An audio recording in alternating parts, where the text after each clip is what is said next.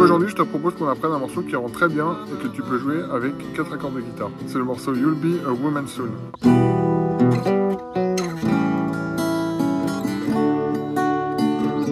Bienvenue sur la chaîne La Guitare en deux semaines, la chaîne pour pouvoir enfin se faire plaisir à la guitare. Donc c'est un morceau qui est totalement abordable, même si tu débutes la guitare. Les accords sont faciles à jouer et faciles à enchaîner. Pour que tout le monde puisse le réussir, on va commencer par une version simple du morceau et après on abordera la version originale.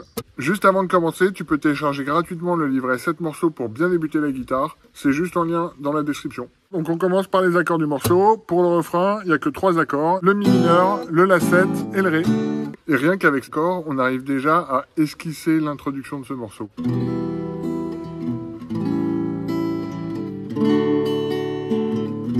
Après, on aura juste à rajouter la petite mélodie. Donc le premier accord, c'est le mi mineur. Et donc pour le jouer, tu vas utiliser ton majeur en cinquième corde en partant des aigus, cinquième corde, case 2. Et annulaire, quatrième corde, case 2. C'est l'accord le plus simple à jouer. Ensuite, on va jouer le La7. Pour jouer le La7, on va utiliser notre majeur en quatrième corde, case 2, et l'annulaire en deuxième corde, case 2. Ensuite, on va jouer le Ré. On va utiliser notre index en troisième corde, case 2, annulaire deuxième corde, case 3, et majeur première corde, case 2. Si tu as du mal à le jouer, tu peux éventuellement enlever ton majeur.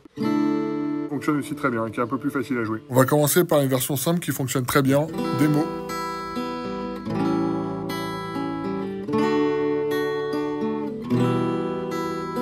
C'est de faire un coup vers le bas et ensuite tu vas gratter la première corde, donc les cordes aiguës, ensuite la deuxième et ensuite la troisième.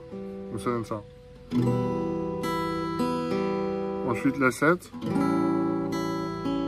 ensuite le Ré, et on finit par le Mi mineur. Et là la boucle est bouclée, donc si on veut recommencer, il faudra rejouer à nouveau le Mi mineur. On jouera le Mi mineur deux fois de suite. Donc maintenant, il y a une petite variante, c'est qu'on va jouer la petite mélodie qui donne ça.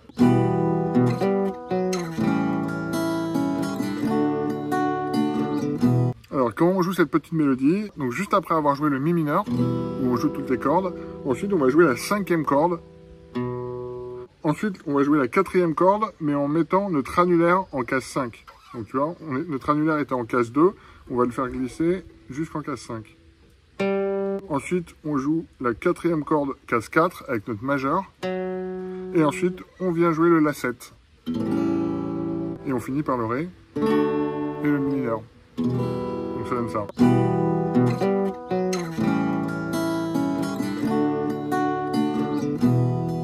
Donc si ça te tente qu'on apprenne la deuxième partie, donc le couplet, et eh ben dis-le moi dans les commentaires et je ferai une deuxième partie.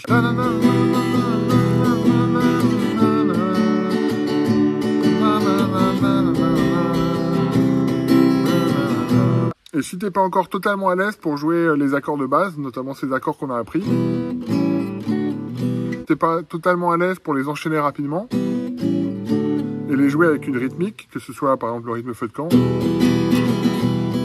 ou le rythme qu'on vient d'apprendre dans cette vidéo.